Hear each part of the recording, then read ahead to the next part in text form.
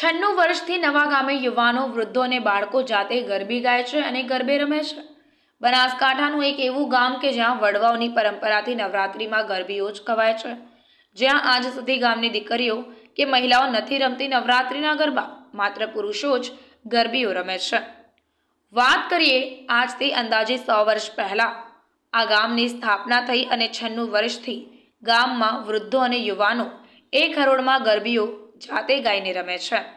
જૂની સંસ્કૃતિને ટકાવી રાખવા અને વડવાઓની પરંપરા મુજબ આજના કોમ્પ્યુટર યુગમાં પણ ડીજે કે સુર સંગીત વગર ઢોલ પણ વગાડવામાં આવતું નથી, છતાં દેશી ઢાળમાં તાલ અને લયબદ્ધ ગામના વૃદ્ધ ગરબીઓ ગવડાવે છે અને ગામના પુરુષો ગરબીઓ રમે છે. અહીં રામાયણ, શંકર, પાર્વતી અને રાધા કૃષ્ણની શિવાજી મહારાજ, મહારાણા પ્રતાપ, જૂના ઇતિહાસની ઝાંકી કરાવી ધાર્મિક ભાવથી સતત જાતે ગરબીઓ પણ ગવાય છે અને રમાય પણ છે.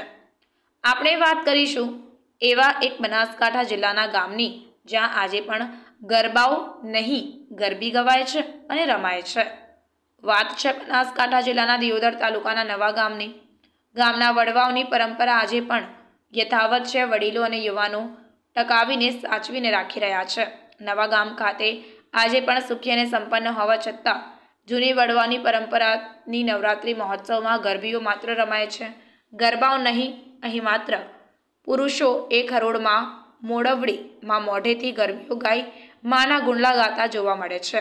આ ગામની સંસ્કૃતિ વડવાઓએ આપેલી છે જેને આજે પણ યુવાનોમાં જોઈને આગળ એ પણ ટકાવી રાખે. સાથે ગામના એક જ બાપાના પરિવાર, સાતસોથી વધુ લોકો અહીં એક સંપથી રહીને માતાજીની ગરબી ગવાય છે.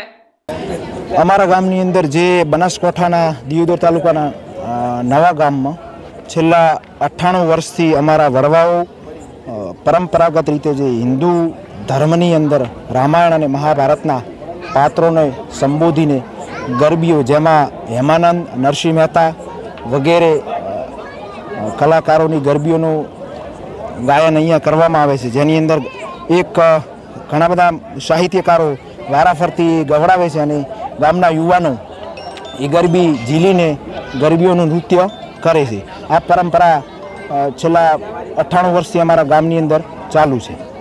અમારે પરંપરા અંબાજી માતાનું લગભગ છન્નું વર્ષથી પરંપરા હેડી આવે છે દેશી ગરબી. એવા અગ્રાબા હતા, સગરંબા હતા, પછી જેઠાબા હતા, પછી શેતાબા હતા, પછી શિવદાસભાઈ હતા, અત્યારે હાલ નાગદીભાઈ છે ઉગેશભાઈ છે જગદીશભાઈ સિંહ, બધા પરંપરામાં આખું ગામ પણ વડવાઓ અને યુવાનો દેશી ગરબી જ રમાશે અમે પરંપરા ઠેઠ હેડ્યું આવે છે એ રહ્યું અમારું. ઠેઠ હેડ્યા માતાજી અમારી આશ્રમ કૃપા રાખે છે. અમારે કોઈ કોરોના આવ્યો નહોતો અંબાજી માતાએ. એટલે બહુ સારું છે અને અમારે કોઈ એક બાકી માણસ રહેતું નથી બધા પરંપરા બધા રમે છે. કોઈ ઘરે રહેતું નથી. અઢારે આલમ અમારે રમે છે.